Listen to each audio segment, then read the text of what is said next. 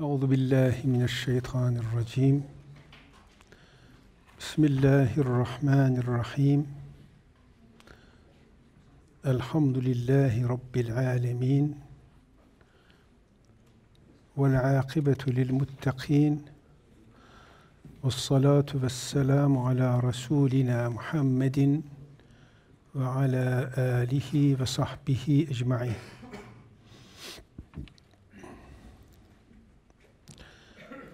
Bugün Allah nasip ederse kitap ve Resul ilişkisi üzerinde duracağız.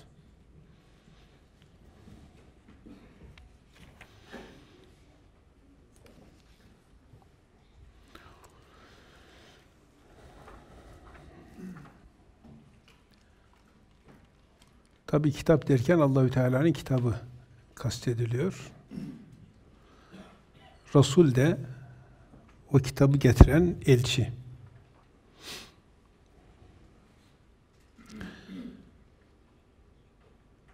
Şimdi Resul kelimesine biz sadece elçi anlamı veririz. Halbuki elçi şu anda aramızda yok.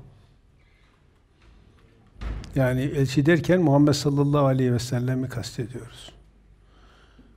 Arapça bakımdan Rasul mastardır, mastar bir kelimedir. Risalet kelimesi gibi o da mastardır. Rasul hem elçilik gereği getirilen şeye Allah'ın elçisi dediğiniz zaman Kur'an-ı Kerim'e hem de onu getiren kişiye yani Muhammed sallallahu aleyhi ve selleme verilen isim ya da özellik olarak kullanılır. Dolayısıyla Arap dili açısından şu kitap Rasul'dür. Getirilen şey olması itibariyle bunu getiren de Rasul'dür. Muhammed sallallahu aleyhi ve sellem. Şimdi bir yere elçi geldi. Size bir şey konuşmak için geldi, konuşmasını yaptı ve gitti. Artık o kişi vazifesini yapmış olur değil mi?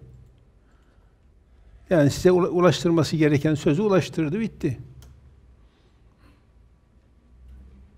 Dolayısıyla elçilere sadece görevi tebliğ düşer. Allahü Teala ve ma aler rusuli illel belâg ve ma aler rasuli illel belâg demiştir. Yani Rasullere tebliğden başka bir şey, bir görev düşmez. Rasule düşen tek görev tebliğdir, başka bir şey değildir. Tebliğine üstlendiği sözü yerine ulaştırmak demektir.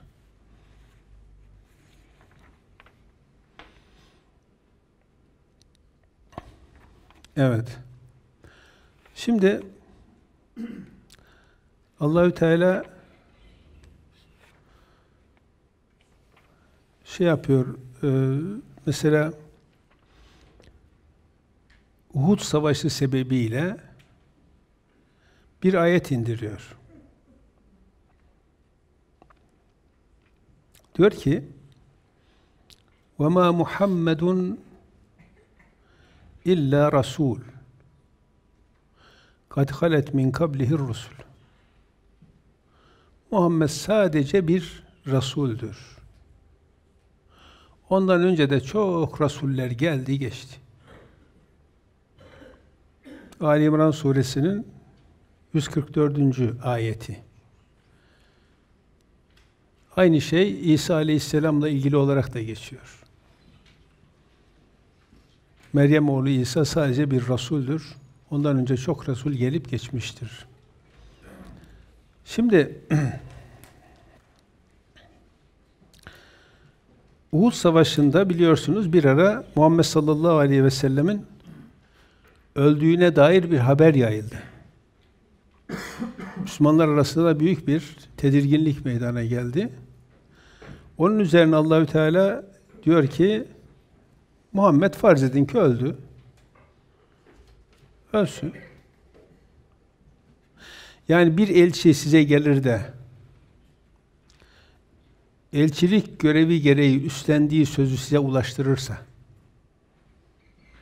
ondan sonra ölmüş olmasının onun elçiliğiyle alakalı bir şey eksikliği olur mu? E geldi size söyleyeceğini söyledi ondan sonra öldü ya da öldürüldü. O vazifesini yapmış olur değil mi? Zaten onun elçi olmasının asıl sebebi o sözü size getirmek değil mi? O kadar. O sözü getirdi, bitti. Muhammed sallallahu aleyhi ve sellemin getirdiği nedir? Kur'an-ı Kerim'dir. Odur. Şimdi bu, bu kısma çok dikkat edelim lütfen. Diyor ki ve ma Muhammedun illa rasul. Muhammed sadece bir elçidir. Kad halet min kablihir rusul. Ondan önce de çok elçiler geldi geçtiler. Efe immate ev kutile ölse ya da öldürülse farz edin ki Uhud Savaşı'nda öldürüldü veya öldü.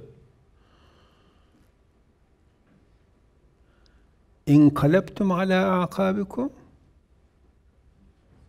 o zaman siz ökçelerinizin üzerine gerisin geri mi döneceksiniz? Yani siz bu dine Muhammed'den dolayı mı girdiniz? Yoksa Muhammed'in getirdiğinden dolayı mı girdiniz? Hı? Biz Muhammed'den dolayı mı Müslümanız? Onun getirdiğinden dolayı. Bitti. Onun getirdiği olmasaydı ya, hangimiz Abdullah'ın oğlu Muhammed'i tanıyabilirdik? Kim bilebilirdi? Hicri 7. asırda böyle bir şahıs gelmiş, yaşamış. Onu önemli kılan getirdiği kitaptır değil mi?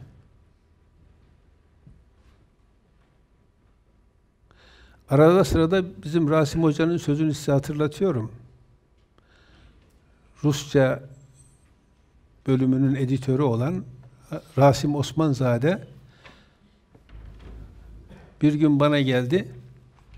Rasim Hoca Moskova'da üniversitede hocalık yapmış olan birisi. Kur'an-ı Kerim'i ilk defa bizim vakıfta tanıdı. Diyor ki Moskova'da annesi şey anlatırmış. işte İslam'dan, Kur'an'dan bahsedermiş. Kendisi aslen Azerbaycan'dan ama çocukluğu da dahil bütün hayatı Moskova'da geçmiş. Diyor ki işte annem anlatırdı Kur'an falan derdi. Ben şu Kur'an'ı bir göreyim dedim. Kütüphaneye gittim. Bir Kur'an görmek istiyorum dedim. Göremezsin dediler. Polit, politbürodan izin alacaksın. Ya bir kitabı görmek için izin olur mu? Yok. Kur'an'ı görmek istiyorsan politbürodan izin alacaksın. E peki şöyle bir arkadan göreyim, elime almayayım. Hayır. Oradan da müsaade etmediler dedi. Bir gün bana geldi şunu söyledi. Şimdi Azeri'de olduğu için dili de bizim Erzurum'un diline yakın. Dedi ki, hocam, hocam baksana dedi. Mehmet peygamberin anası yok. Babası yok. Kardeşi yok. Oğlu yok. Zenginliği yok. Siyasi bir itibarı yok. Herhangi bir kişinin keşke bende de olsa diyeceği bir özelliği yok. Yok. Ama bak dedi, Allah ona bir kitap vermiş. Ana, anadan da, babadan da, siyasetten de, zenginlikten de, her şeyden de daha iyi. Bugün herkes istiyor ki keşke onun yolundan gidebilsem, keşke onun getirdiği kitaba uyabilsem. Aslında kafirler de onu isterler. Çünkü bu fıtrat onu ister. Keşke ben de yapabilsem. Siz çevrenize bakın, dine uzak olan kişiler size zaman zaman derler, vallahi ne güzel, keşke ben de yapsam derler. Bunu da Allahü Teala Hicr suresinin ikinci ayetinde belirtir. Çünkü herkes kendisini mümin kabul eder. Çünkü her insanda Allah inancı sağlam bir şekilde vardır. Ama o inancı dünyalık arzularla örttüğü için kafir olur. Kafir örten demektir. Örttüğünü siz dışarıdan göremiyorsunuz. Size gizliyor ama o kendisi biliyor kalbinde o inancın olduğunu. Onun için kafirler zaman zaman derler, benim kalbimi Allah biliyor. Elbette tabi biliyor. Sen kalbindeki inancı sen gizlediğin için kafir oldun. Olmazsa nasıl kafir olacaksın? Şimdi onlar kendilerini Allah'a teslim olamamakla suçlarlar. Eksiklikler orada görürler. Onun için Hicr suresinin ikinci ayeti değil mi Yahya? Rubama yeveddu'llezine kafaru lev kanu muslimin. 15. sure ikinci ayet. Kafirler zaman zaman şunu çok isterler. Ah keşke biz de teslim olsak. Hani ben de yapabilsem keşke. Şimdi işte öyle bir şey ki Muhammed sallallahu aleyhi ve sellemin getirdiği kitap olmasaydı herhangi bir Mekkeli'den ne farkı olurdu? Ha, o bir mümin Mekkeli olabilirdi. Mekke'de zaten Hanif denen müminler vardı. O kadar. Ondan öteye bir şey olmazdı. Ondan dolayı bakın şunu çok iyi kavramamız lazım. Diyor ki Allahü Teala ve ma Muhammedun illa rasul. Uhud Savaşı'nda öldü haberleri yayıldıktan sonra inen şu ayet. Muhammed sadece bir elçidir. Efe immâte ev kutilen kalabtum ala akabikum. Ölse ya da öldürülse siz ökçelerin üzerine, üzerine gerisin geri mi döneceksiniz? Yani siz Muhammed'e mi, Abdullah oğlu Muhammed'e mi inanıyorsunuz? Yoksa onun getirdiğine mi? O getirdiği olmasaydı ona kim Resul derdi? Resul olması Allah'ın ona böyle bir görev vermesi, bir kitap vermesi sebebiyle. Ve Nebi Resul'dür. Nebi Resul. Yine çok iyi biliyorsunuz ki Nebi Allah'ın kitap indirdiği kişidir. Resul onu tebliğ edendir. Ama yine biliyorsunuz ki maalesef bizim ben bizim derken rahatsız oluyorum kesinlikle. Bak bunu çok iyi şey yapın. Ama mecburen sahip çıkıyoruz. Bizim gelenek bu işi tersine çevirmiştir. Yani bizimkiler de Yahudiler gibi nebilerini öldürmüşlerdir. Nebiyi Resul yapmışlar. Resul de Resul. Dolayısıyla her şey birbirine karışmıştır. Şimdi niye Nebi Resul? Şöyle tarif ederler. Derler ki Resul bir kitap ve bir şeriatla gelen kişidir. Nebi de bir Resulün kitabını tebliğ ile görevli olan kişidir. Kendisi bir kitap getirmez. Peki Allah öyle mi diyor? Allahü Teala En'am suresi 83 ve devam ayetlerde 18 tane nebi sayıyor. Babaları, kardeşleri ve çocukları der diyerek tüm nebileri e, orada insan kişi okuyanın hatırına getiriyor. Sonra da diyor ki ulaikellezine ataynahumul kitabe vel hukme ven nubuvve. Onlar kendilerine kitap verdiğimiz, hikmet verdiğimiz ve nebilik verdiğimiz kişilerdir. Kendisine kitap verilmemiş bir tek nebinin olmadığını Kur'an-ı Kerim çok sayıda ayette bize bildiriyor. Ama her nebi kendisine indirilen kitabı, kendisine verilen kitabı elbette ki tebliğ görevli olduğu için her nebi rasuldür. Ve nebilik bitmiştir. Artık kimseye bir kitap gelmeyecek. Allahü Teala kimseye bir e, melek göndererek vahide bulunmayacaktır. O kapı kapandı. Ama Şu anda elimizdeki Resul bu kitaptır. Ondan dolayı bakın ne dedi Allah? Efe imma tevkutilen kalabtum ala akabikum o ölür, ölür ya da öldürülürse gerisin geri mi döneceksiniz? Ne yapacaksın ki ölsün? Ne olur ki? O gelmiş görevini yapmış, tebliğ edeceği kitabı etmiş. Bu kitap olmasaydı tekrar edeyim kimse onlara ona, ona Resul demezdi. Nebi demezdi. Getirdi kitabı tebliğ etti. Gitse ne olur ki? Vazifesini yaptı zaten.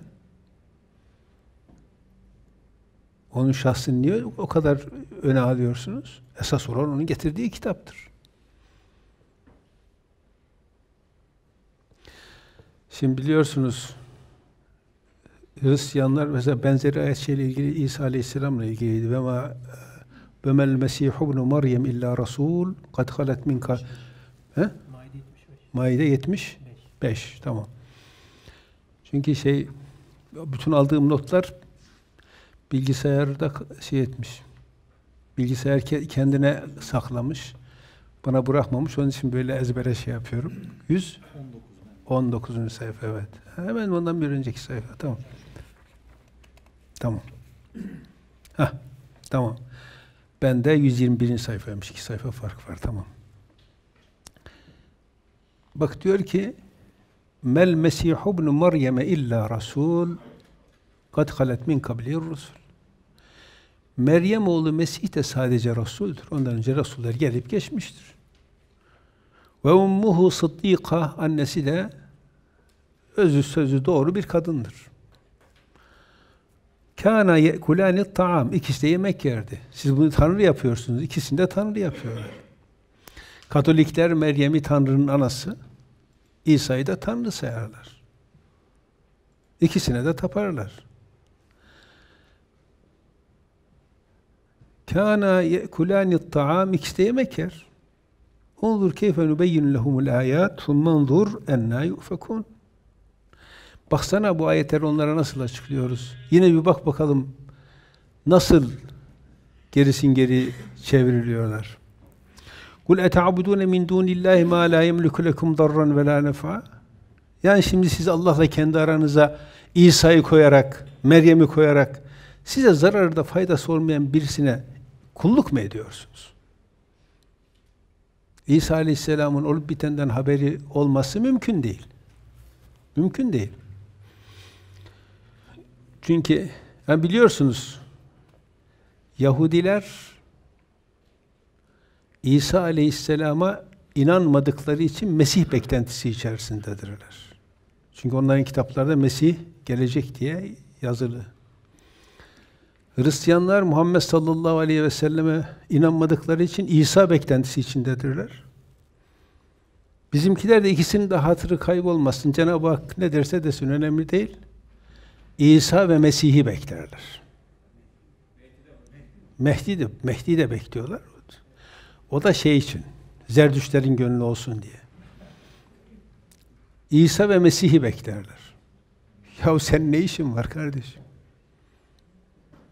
Sonra da ayetleri eğer bükerler, Resulullah'a da bir takım hadisler isnat ederler. Biliyorsunuz akaid kitaplarında ve nuzul İsa hakkun diye de cümle koyarlar. İsa'nın inmesi hakmış, gerçekmiş. Çok beklersiniz. Şimdi tabi onunla ilgili öyle şeyler söylerler ki kurt kuzuyla otlayacakmış, bilmem gelip haçı kıracakmış, bilmem. Bir de diyorlar ki Muhammed şeriatıyla şey yapacak. Muhammed şeriatında kurdun kuzuyla şey yapması var mı? Hacın, haçın kırılması var mı? Domuzun öldü, domuz öldürmekle biter mi? He? Ha, cizyeyi kaldıracak. Bir de deniyor ki Muhammed Aleyhisselam'ın şeyiyle, hani şeriatıyla, hani onun şeriatı? Peki, bunlar onu Tanrı yaparlar da bizimkiler durur mu?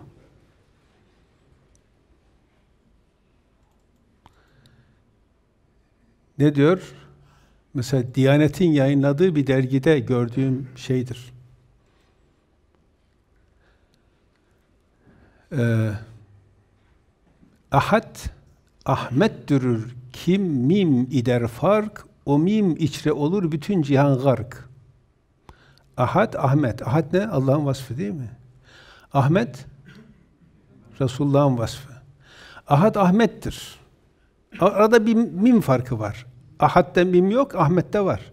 Peki bu mim lehte mi aleyhte mi? O mimin içinde bütün cihan var. Ne haber? Ahad'da var mı? Haşa.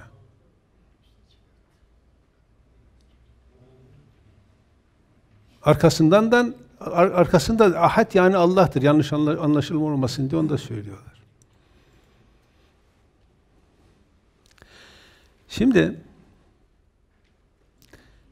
Risa getirdiği kitaba değil, kişiye önem veriliyor. Neden biliyor musunuz? Çünkü o tanrılaşacak ki bir tane hocayı da tanrı makamına çıkarasınız. Yoksa nasıl olacak yani? O, o sıradan bir insan olursa hoca nasıl milletin tepesine binip de onları dini kullanıp sömürecek? Hiç mümkün mü? Onu biraz yükselteceksin ki aradaki boşluğa da bazı hocalar geçsin otursun. İsa Aleyhisselam'ı tanrılaştırmalarının tek sebebi vardır. Kiliseyi tanrılaştırmak. O kadar başka bir şey yok. İsa sanki kilisenin umurundaydı. Ama ne yapsınlar ki kiliseyi tanrılaştırmanın başka yolu yok. Onun için bak Muhammed Allah'ın elçisinden başka bir şey değildir. İsa Aleyhisselam da öyledir. Öyleyse onların getirdikleri çok önemlidir. O getirdiklerine uymazsanız hiçbir şey olmaz. Mesela Resul olarak az önceki açtığımız yerin hemen sağındaki sayfada Maide suresinde 67. ayet. Bakın şuraya dikkat edelim. Diyor ki Allahü Teala Ya eyyuhar Resul Ey elçi Belliğ ma unzile ileyke min rabbik Rabbinden sana indirilmiş olan neyse onu tebliğ et. Kendine bir şey bırakma, olduğu gibi anlat.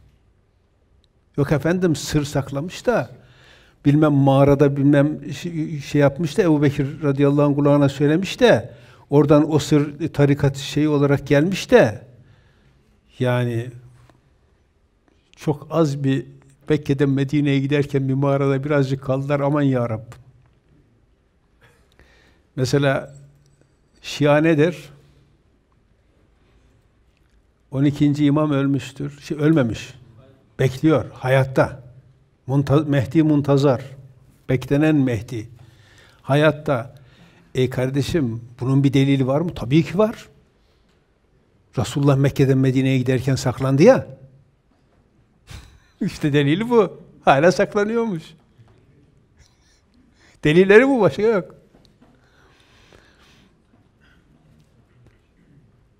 Onun için mesela Hristiyanlar şunu derler. İsa yüzde yüz insandır. Yüzde yüz Allah'tır. Yüzde yüz insandır diyecekler ki birisi çıkar da papaya ya sen de benim gibi insandır, insansın derse ona cevap versin diye. Yüzde yüz Allah'tır. Şimdi ben bir papaza sordum. Lan bu ne? Birisi yüzde yüz öbürüne hiçbir şey kalmaz. Bu ne biçim mantıktır dedim. Finlandiyalı bir papaz benim yanımda doktora yapmaya gelmişti. O zaman üniversitenin rektörü bırakmadı. Dedi ki bunların kötü niyetleri vardır. Peki dedik. Oturduk şimdi vakıfta konuştuk. Ya dedim bu ne biçim şeydir? Ee, yüzde yüz insan diyorsunuz, başka tarafa bir şey kalmıyor. E yüzde yüz Tanrı diyorsunuz, bu defa insana bir şey kalmıyor. Nasıl, ne, e, akıl ermez. Nasıl akıl ermiyor ya? Siz bunu akıllı insanlar için söylüyorsunuz. Bunlar koyun değil ki. Onun için hani yıktın haneyi eyledim viran, varayım sahibin haber vereyim hemen. Böyle ne yaparlar? Sizin aklınız ermez. Kendileri üst, üst akıl ya. Siz ne anlarsınız kardeşim bunlardan? Evet. Şimdi diyor ki burada ya ya Resul belliğ ma unzile ileyke min rabbik. Rabbinden sana indirilen neyse sen onu, sen onu tebliğ et. Peki ve illem tef'al fema bellagte risaletehu. Eğer bunu yapmazsan Allah'ın sana yüklediği elçilik görevini yapmamış olursun. Bunu yapmadın mı zaten ne, ne işe yararsın ki demiş oluyor değil mi? Ne işe yararsın? Peki Vallahu ya'simuke minen nas. Allah seni bu insanlara karşı koruyacaktır. İnna Allah la yehdil kavmel kafirin. Allah kafirler kavmini yola getirmez. Kendileri gelirse onaylar ama kendi getirmez. Allah hiç kimseyi yoldan çıkarmaz, yola da getirmez. Kendisi gelirse onaylar, kendisi çıkarsa onaylar. O kadar. Şimdi bakın.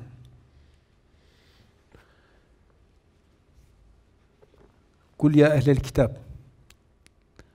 Şimdi mesela Vedat ikide bir onu anlattırıyoruz. İki türlü şey var.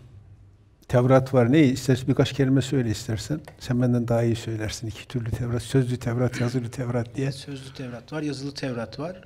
Ee, yazılı Tevrat biliyorsunuz Musa Aleyhisselam'a Tur Dağı'nda verilen e, Yahudilerin birçoğunu sadece eski ayetin ilk beş kitabı olarak görüyorlar. Bir de bunun yanında Tur Dağı'nda Musa Aleyhisselam'a sözlü bir Tevrat'ın verildiği söyleniyor. Ancak bu sözlü Tevrat e, bir takım ulemanın e, şeyiyle nezaretinde insanlara ulaştırıldığı söyleniyor. Dolayısıyla bir takım ulemanın subjektif işte çıkarımları, iştihatları sözlü Tevrat'ın bir parçası olarak bugün algılanıyor. Evet. Şimdi mesela bu cumartesi günkü dersi dinleyenleriniz varsa şunu görmüşsünüzdür. Kur'an-ı Kerim'de kadının boşama hakkı var. Şii Sünni bütün mezhepler bunu onun elinden almışlar bir kere. Maalesef İbn Teymiye şunu çok açık ve net söylüyor. İfade ediyor. Diyor ki kadın esirden de aşağıda. Yani öyle bir ifadesi var. Kadına bir bizim bu doğru bildiğimiz yanlışları kitabında o vardır. Kadına kendi kafalarına göre bir boşama hakkı veriyorlar ama son söz erkeğin elinde. Niye böyle? Çünkü kadını satılık mal gibi kabul ederler. Bunu açıkça söylerler kitaplarında. Hanefi kabul etmez de Şafii, Maliki ve Hanbeliler mesela bizim yine şeyde bakarsanız doğru bildiğimiz yanlışlarda ev, evliliğin denetlenmesi bölümüne bakarsanız orada görürsünüz. Ayetin şartını kaldırmışlardır. Şimdi o konuyu anlatmayacağım çünkü çok uzar.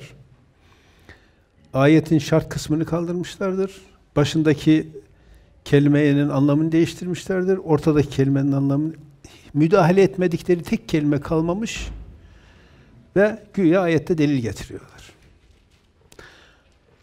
Talak konusunda da yani kadının boşama hakkını tamamen bütün mezhepler ittifakla elinden almışlardır. Bir tane tanıyan şu ana kadar rastlamadık. Allah'tan ki Kur'an-ı Kerim bunu açıkça söylüyor ve örnek veriyor kimsenin itiraz edemeyeceği şekilde Resulullah sallallahu aleyhi ve sellemin bize kadar ulaşan sahih uygulaması var. Sahabenin sahih uygulaması var. Ama ondan sonra kaybolmuş. Şimdi Kur'an-ı Kerim'de talak adıyla bir sure var. Adı talak. Bu mezheplerin hiçbirini o sure ilgilendirmiyor. Hiçbirisini ilgilendirmiyor. Hiçbirisini. Ondan sonra Bakara suresinde üç sayfa erkeğin karısını boşaması ile ilgili ayetler var. Onlar da ilgilendirmiyor.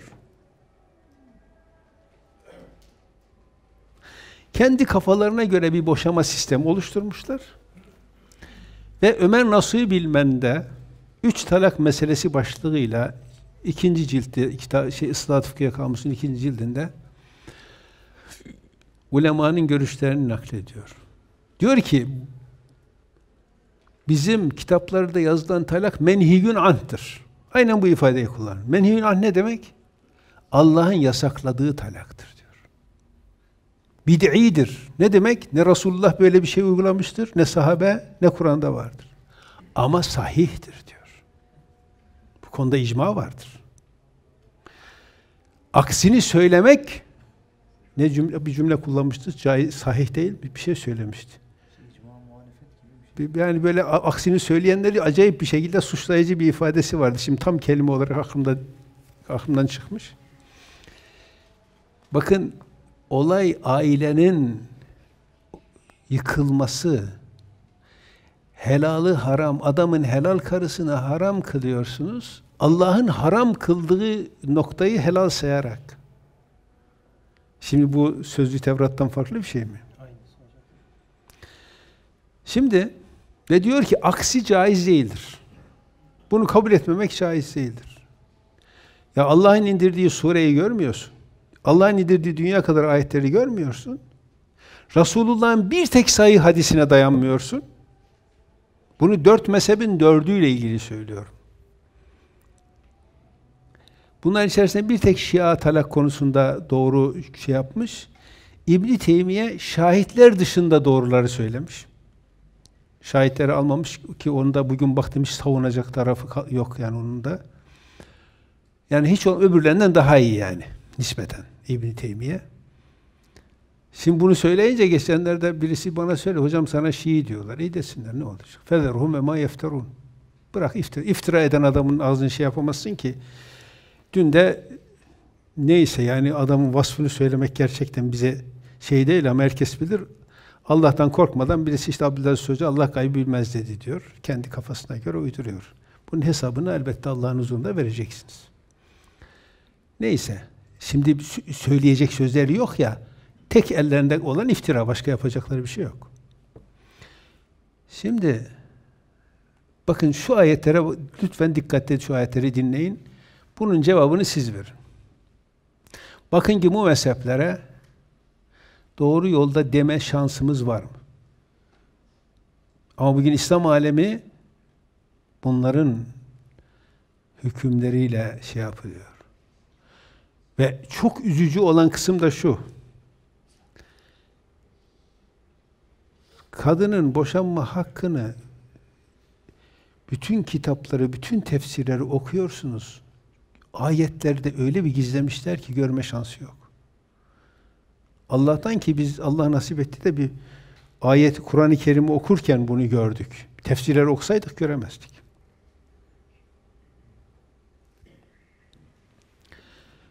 Şimdi bak ne diyor Allahü Teala?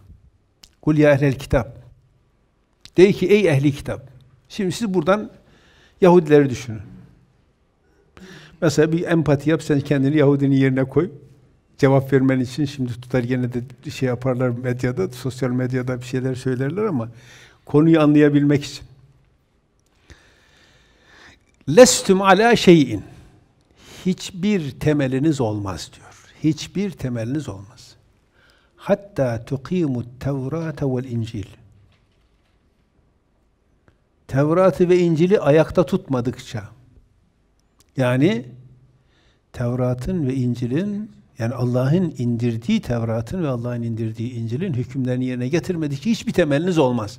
Şimdi buna göre Yahudi, bugün Yahudilerde uygulanan hukukun bir temeli var mı? Hiçbir temeli yok. Yok. Peki bizimkilerin uyguladığının temeli var mı? Şimdi yeni bir nebi gelseydi, Muhammed sallallahu aleyhi ve sellem son nebi olmasaydı, bize aynı şeyi söyle, söyleyecek bir ayet inmeyecek miydi?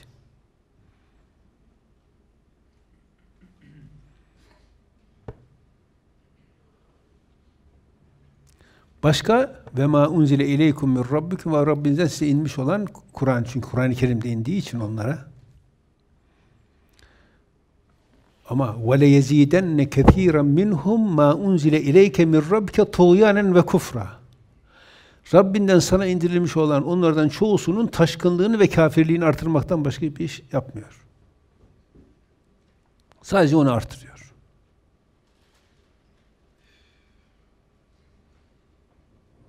Şimdi de bugün bir arkadaşımız telefonda söylüyor. Diyor ki hocalara ayetleri okuyorum.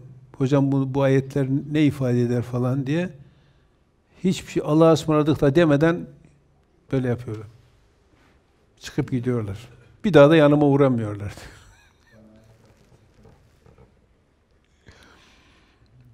فَلَا تَأْسَ عَلَى الْقَوْمِ الْكَافِرِينَ O kafirler topluluktan dolayı, topluluğundan dolayı hiç üzülme diyor Allahü Teala Resulullah sallallahu aleyhi ve sellem.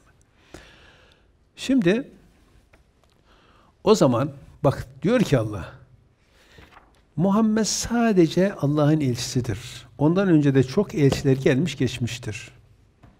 O ölürse gerisin gerim dönecek. Peki o öldü. O öldü. O zaman bugün şu Nisa suresinden okuyacağımız ayete bir bakalım. Bak ne diyor Allah? Diyor ki Ati'ullaha men yuti'ur rasule fakat Allah. Rasule kim itaat ederse Allah'a itaat etmiş olur. E, o öldü. Ölürse dedi ya. Gerisin Peki öldü. Öldükten sonra onun şahsına itaat şahsının yeni bir şey söyleme şansı var mı? Kendi şahsına ita itaat etme şansı var mı? O zaman kime itaat edeceğiz? Gelen kitaba. Onun için bakın Arap dili tekrar edin dersin başında söyledim tekrar söyleyeyim. Arap dili açısından Rasul kelimesi mastardır. Arapçada mastarlar ismi fail manasında da kullanılır, isim manasında da kullanılır. İsmi fail manasında o risaleti getiren kişi, isim manasında getir, getirdiği şey. Hatta Ragıb el-İsfahani'nin el müfredatında getirilen şey esas birinci anlam olarak geçiyor. Yani şu kitap, as asıl Resul bu kitap. İkinci anlam da onu getiren kişi Muhammed sallallahu aleyhi ve sellem. O zaman men yuti'ur rasule kim Resul'e yani? Çünkü zaten bu olmasa Muhammed Aleyhisselam Resul olamazdı ki. Onu Resul yapan getirdiği kitaptır. Risalet kelimesi de aynı şekilde. Hem elçi hem de elçilik gereği getirdiği şey anlamında kullanılır. Men yuti'ir rasule fakat ata Allah. Rasule itaat eden yani şu kitapta olana itaat eden Allah'a itaat etmiş olur. Çünkü Allah'ın benden ne istediğini nereden öğreneceğim? Şimdi ne istediği Allahü Teala bak men yutir rasule fakat Allah. Rasule itaat eden Allah'a itaat eder. Rasul kim? Muhammed Aleyhisselam. E peki şu Muhammed'e itaat edelim. Nerede bulup da itaat edeceksin? Ne yapacaksın? Ancak onun getirdiğine itaat edersem ona itaat etmiş olurum. Başka yolu yok. Ama burada da müthiş bir algı yönetimi yapılmıştır. Rasul kelimesi gerçek anlamının dışına çıkarılmış. O Nebi Rasul kelimelerdeki oyun oynaması gibi. Efendim Allahü Teala Muhammed sallallahu aleyhi ve selleme nebilerin sonuncusu dediği halde Rasullerin sonuncusu yapmışlardır. Ve Resul'e itaat eden kişiliğini esas öne almışlardır. Kişiliğini öne alınca da onun ağzından çıkan sözleri bu ayetlerin medlulu yani bu ayetlerle onun emredildiğini söylemişlerdir. İmam Şafii'nin Er Risalesini açarsanız çok net bir şekilde görürsünüz. Ya da bizim doğru bildiğimiz yanlışlarda İmam Şafii'de hikmet başlığı altındaki yazıyı okursanız oradaki neler söylediğini çok net bir şekilde görürsünüz. Ondan sonra der ki onun ağzından çıkan sözler de vahiydir. Peki Allahü Teala Cebrail Aleyhisselam'ı göndermiş. Onu neyle göndermiş Cebrail Aleyhisselam? Yok. Onun içine doğmuş. O zaman direk alıyor. Direk aldığına da göre daha güçlü olacak. Onun için arkasından bu ifadeyi İmam Şafii kullanmaz ama daha sonra bu, bu, bu anlam hepsinde vardır. Es-sünnetu kadiyetun alel kitap. Resulullah'ın ağzından çıkan söz ve yaptığı uygulamalara sünnet demişlerdir. Sünnet kelimesi çok tehlikeli bir kelime. Sünnet Allah'ın kanunu ifade eder. Ondan sonra da Kur'an-ı Kerim'in üzerine hakim kılmışlar. İşte az önce talak konusunda bir konusunu gündeme getirdiğimize göre oradan örnek vereyim size. Hanefilerin yere göğe koymadıkları el hidayeleri vardır. İşte Fatih Sultan Mehmet Fatih medreselerini kurmuş. Birinci kitap olarak onun kanununda vardır. Kanuni Sultan Süleyman Süleymaniye medreselerinin birinci kitabı olarak okutacak diye onun vakfiyesinde vardır. Bugün Diyanet'in bütün eğitim merkezlerinde birinci kitap olarak okunur Hidaye. O Hidaye'nin kitabı talakında Talak suresinden iki kelime alınır. O iki kelime yüzde yüz ters bir anlama çekilir. Çok affedersiniz, küçük kız çocuklarıyla evlenip gerdeğe girileceğine delil alınır anlamı bozularak. Maalesef.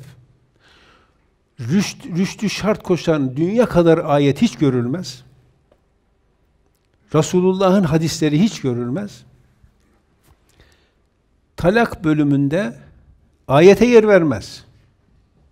Bir tane hadis koymuştur başında. Arzu edenler gitsin baksınlar. Yani bu hocalar boşuna bizden küsmüyorlar yüzden diyorum ki çünkü gelip söyleyecek lafları yok ki. Bakın her derste Sünni Şii, Şii ayrımı yapmadan hepsine hadi buyurun diyorum. Hiç çıkan gör, ben görmedim. Siz gördüyseniz bilmiyorum. Şimdi oraya bir hadis koymuş. O hadisin sahihi Kütüb-i Sitte'de var, Sünen kitaplarında var, Müsnetler'de var. Ama onun oraya koyduğu hiçbirisinde yok. Yani onu bozarak oraya koymuş. Çünkü doğru alırsa sistemi çökecek.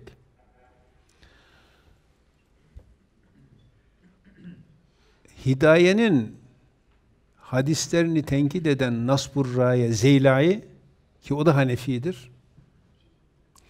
O hadisi alıyor, inceliyor. Sonunda şu cümle: "Batilun la yecuzul e, istidlalu bihi." Bu hadis batıldır. Bununla delil getirilemez diyor. Tek dayanağı o, o da batıl. Ve konu da boşanma. Adama diyorsun ki karın sana haram oldu. Haşa. Aileyi yıkıyorsun.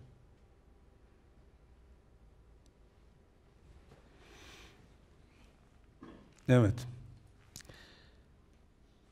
Şimdi men yuti'ur rasule fakat ata Allah. Şimdi bu insanlar peki şimdi çıkıp bize diyorlar ki siz hadis düşmanısınız diyorlar.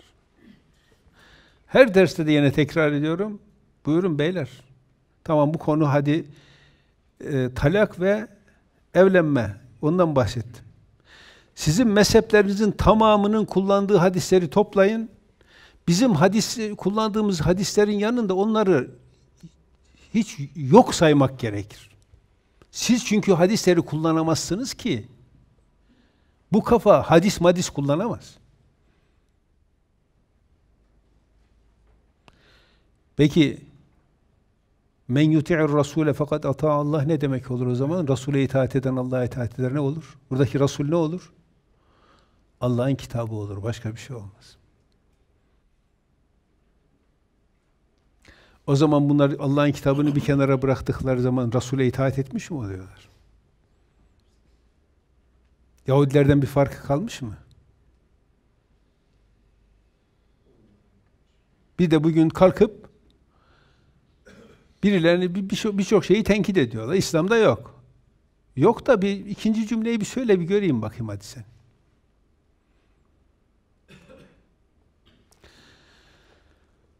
وَمَنْ تَوَلَّى فَمَا اَرْسَلْنَاكَ عَلَيْهِمْ حَف۪يظًا Kim yüz çevirirse seni onlara koruyucu olarak göndermedik. Evet. Şimdi bakın bir de ha şu ayetleri okuyayım da ondan sonra ve yekulune ta'a baş üstüne diyorlar. Elbette öyle yapmalıyız diyorlar. فَاِذَا بَرَوْزُوا مِنْ عِنْدِكَ بَيَّتَ طَائِفَةٌ مِنْهُمْ غَيْرَ الَّذ۪ي تَقُولُ Yanından ayrıldıkları zaman gece onlardan bir grup senin söylediklerinden başkasını aralarında konuşuyorlar. Bak senden başkasını konuşuyorlar değil, senin söylediklerinden başkası. Çünkü onun tebliğ ettikleri esastır. Kendisi değil. Kendisi getirmiştir, görevini bitirmiştir, tamam. Ha, bize örnekliği devam ediyor o başka. Onun sözlerinden istifade ediyoruz başka. Ama artık şu anda bizim elimizdeki Resul budur. Vallahu yektubu ma yubeyyitun. Onların gece yaptıklarını Allah yazıyor. Fe'arid anhum onlara yanını dön, yüz verme yani ve tevekkül alallah ve Allah'a güven ve kefa billahi vekila. Vekil olarak Allah yeter. Allah'a güven gerisine karışma. Şimdi burada kime söyleniyor bu, bu sözler Muhammed sallallahu aleyhi ve sellem öldüğüne göre? Şimdi zihninizin bir kenarında saklayın. Biraz sonra okuyacağım ayetten cevabını siz vereceksiniz. Efela yetedebberûnel Kur'an Bu Kur'an'ı onlar tedebbür etmiyorlar mı? Yani okudukları ayetlerin arka planında neler var ona bakmıyorlar mı? Bağlantılarının üzerine düşünmüyorlar mı ayetlerin? Onun için dedim ya sonra okuyacağız orada görürsünüz diye.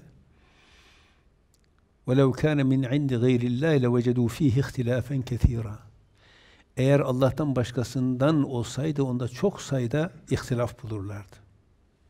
Neyse biz bunu haftaya bırakalım çünkü burada çok söz söylemek gerekir. Kur'an-ı Kerim'in e, Kur'an-ı Kerim'e öyle yanlış manalar vermişler, tefsirleri öyle yanlışlarla doldurmuşlar ki sanki Allah birbiriyle çelişen sözler söylüyormuş gibi maalesef bugün. Evet, şimdi şimdi şey yapalım. Ee, İbrahim suresinin 14. surenin 4. ayetine bir bakalım. 256. sayfada bende. Evet. Ve ma arsalna min rasulin illa bilisani kavmihi liyubeyyine lehum. Her rasulü kendi kavminin diliyle gönderdik ki onlara açık açık anlasın.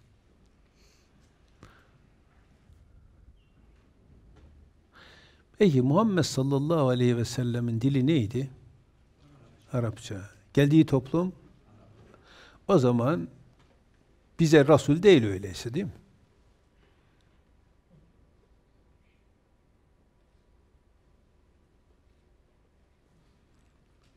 Şimdi buraya bakarsanız öyle söylemeniz lazım. Halbuki o bütün dünyaya Resul olarak gö göndermiştir. لِتُنْذِرَ ehlel kura ve men havleha. Ehli kurayı ve çevresini eh, şey, eh, ümmel kura yanlış söyleyeyim. لِتُنْذِرَ ummel kura ve, öyle değil mi? Ehlel kura mı? Ümmel kura.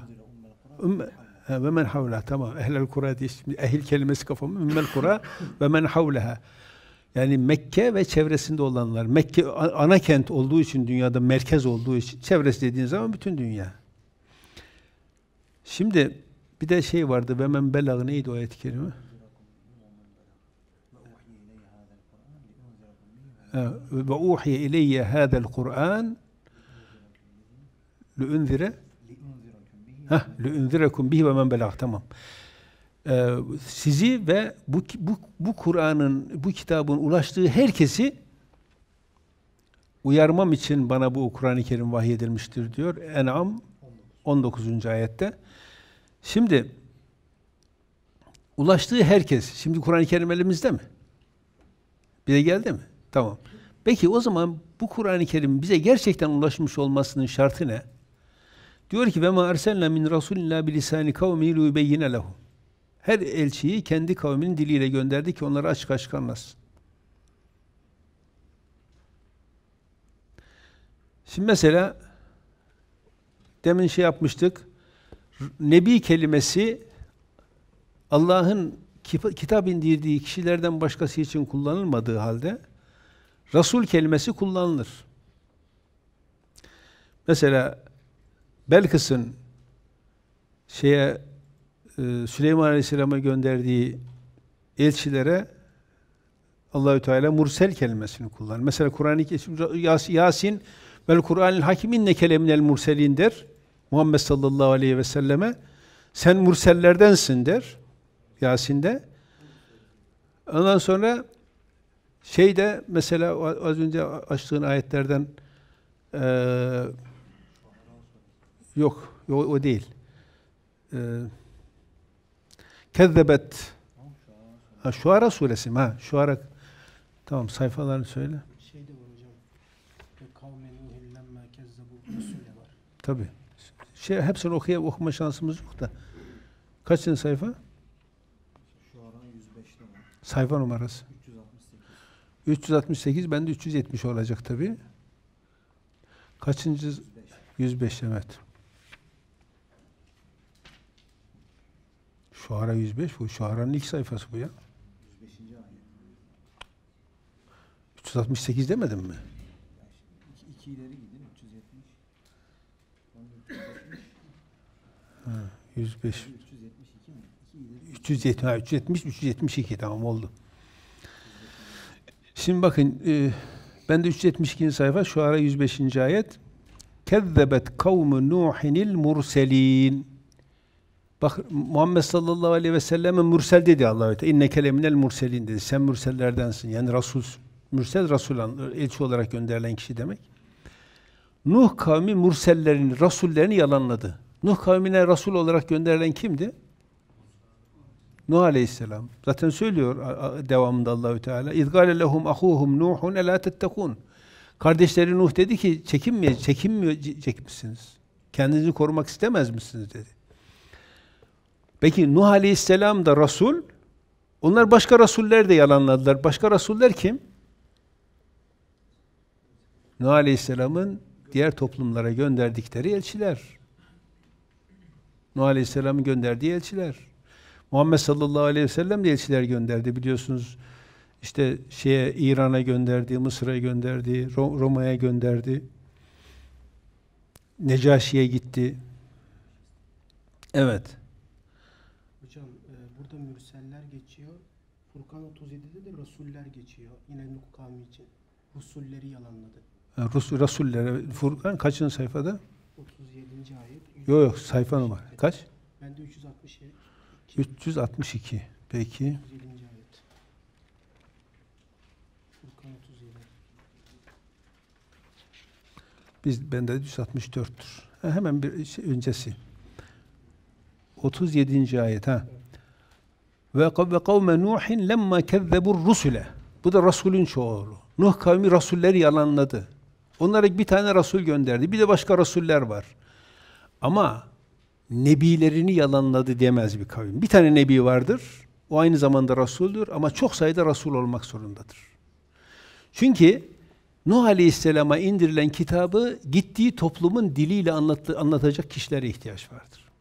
Şimdi o zaman tekrar İbrahim suresine gelelim. Bu soruda ayet, bu konuda ayetler çok. Onun için şey yapmayacağım. Ee, kısa kısa kesmek zorundayım. Her Resulü kendi kavminin diliyle gönderdik diyor. O zaman Türkiye'ye Resulün gelmesi için hangi dille gelmesi lazım? Türkçe. Kur'an nasıl anlatması lazım? Türkçe. Kur'an-ı Kerim bize Türkçe anlatılırsa bize Resul gelmiş olur. Yoksa yok. Fransızca anlatılırsa Fransızlara gelmiş olur. İngilizce anlatılmışsa İngilizlere gelmiş olur. Rusça anlatılırsa Ruslara gelmiş olur. O zaman bizim vazifemiz nedir? İnsanlara kendi diliyle Allah'ın kitabını eksiksiz ve fazlasız olduğu gibi anlatacak kişiler. Ama gelenekten e, o, o- gelenekten gelme bir sürü yanlışları da ortadan kaldırmamız lazım. Bak bu ayetin hemen devamına şey yapalım. İstersen sen bir hemen bir, bir, bir çabucak o ayetin mealini şeyin o, o s- s- şeyin bu e, İbrahim suresi 4. ayetinde ne meal verdiklerini o Diyanet Vakfı'nın mealinden bir oku. Bakın hemen ne, ne yanlışlar var? Bunları da düzelterek şey yapmamız gerekiyor. İbrahim suresi 4. ayet Allah'ın emirlerini onlara iyice açıklasın diye her peygamberi yalnız kendi kavminin Bak, diliyle peygamber gönderdik. dedi, Resul demedi. Nebi mi dedin, Resul mü dedin kardeşim? Peygamber Farsça bir kelime. Yani karıştırdın, ikisi de bitti işte. Evet. Her peygamberi yalnız kendi kavminin diliyle gönderdik. Artık Allah dilediğini saptırır, dilediğini de doğru yola iletir. Çünkü o güç ve hikmet sahibidir. Peki şimdi Tü- Türk, Türkçe birisi geldi Resul olarak size Kur'an-ı Kerim'i Türkçe olarak anlattı. Kendi dilinizle. Niye? İyice anlayasınız diye. Peki sonuç ne? Allah dilediğini saptırıp dilediğini yola getirecek. Ne dersiniz? Yani gelsen ne olur, gelmesen ne olur madem dilediğini saptırıp dilediğini yola getiriyor.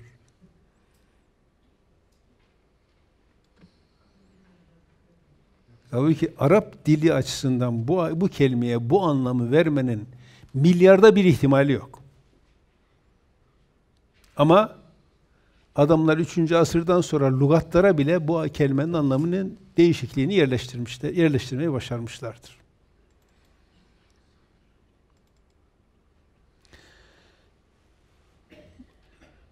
Kur'an-ı Kerim zaten bizim şey e, doğru bildiğimiz yanlışlarda da sitede de bu şey irade şeyini okursanız orada görürsünüz. Allahü Teala Kur'an-ı Kerim'i önemli kelimeler için sözlük olarak kullanabileceğimiz şekilde indirmiştir. Orada onun delillerini görürsünüz. Bu ayete verilmesi gereken şu. Biz her elçiyi kendi kavminin diliyle gönderdik. O zaman Kur'an-ı Kerim Türkçe olarak anlatılması lazım. Ama maalesef Osmanlı döneminde Türkçe'ye çevrilmemiştir. E niye? Başına problem mi alacak kardeşim? Bugünkü hocaların çektikleri o zaman onlar çekecekti. Birisi çıkıp gidiyor, hocam peki ya bu ayet ne dediğin zaman hoca böyle. Eskiden olsaydı, eskiden ne güzeldi ya. Ebu Suud'a talebesi soru soruyor. Biz Nebimizin her sözüne inanmak zorunda mıyız? Ah ne bak tam bir alim edasıyla cevap veriyor. Diyor ki sen bunu söylediğin kafir oldun. Senin tevbe etmesen öldürülmen gerekir. Ama söyleyiş tarzın Nebimizi hafife aldığını gösteriyor. Tevbe etsen de öldürüleceksin. E böyle olmasaydı bu saçmalıkları bugüne kadar nasıl koruyacaklardı? Allah'a şükür ki bugün öyle diyen yok. Ebu Suud'un maruzatında isteyen gider şu kütüphaneden açıp okuyabilir. Evet. Feyudillullahu men yeşa Allahü Teala diyor dalaleti tercih eden, sapıklığı tercih edeni sapıklıkta bırakır. Ve yehdi men yeşa hidayeti tercih eden de doğru yolunda doğru yoluna getirir. Onaylar doğru yoluna geldiğini. Peki ve huvel azizul hakim. O üstündür ve kararları doğrudur. Yanlış karar kesinlikle vermez. Evet. Şimdi neticeye geliyoruz. Demek ki bizim için Resul neymiş? Kur'an-ı Kerim. Muhammed sallallahu aleyhi ve sellem Kur'an'ı bize getiren Allah'ın elçisi olduğu için bir onun getirdiği kitaptır. Ondan dolayı onun da Resul olduğuna inanmak zorundayız. Nebi Allah'ın nebi ve Resulü olduğuna inanmak zorundayız. Artık ondan sonra kimse birisi çıkar da işte bu bana yazdırıldı. İşte içime doğdu. Bilmem işte şöyle oldu, böyle oldu. Şey gibi İmam Gazali gibi çıkar da efendim işte e, bizde bizimle Allah'ın Resuller arasındaki tek fark biz direkt alırız, onlar melek aracılığıyla alır. Ne kadar alçak gönüllü değil mi?